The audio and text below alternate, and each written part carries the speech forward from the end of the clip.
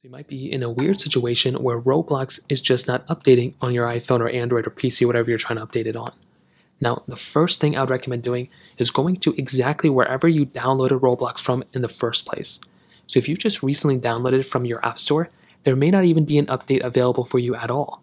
So if you make your way over to your specific Roblox game inside of your App Store or wherever you downloaded it from, you should see that there's a, there's a button, there might be an update button there. So if there's an update button, click on it and if it for some reason spins around and does an update, go ahead and try it again and continue to try updating. Make sure you have Wi Fi and all that stuff.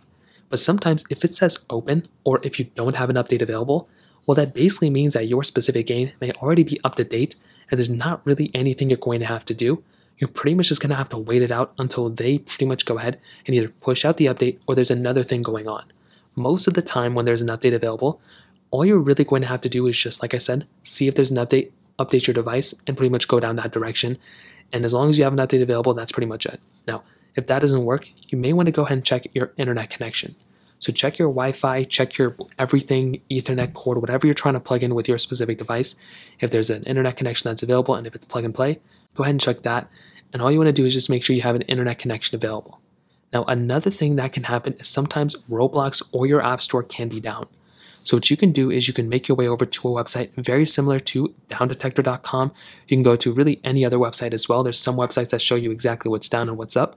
So go ahead and see exactly what's down and what's up. And you can see from here, you can see Google is down, which is pretty rare because Google Drive is down as well.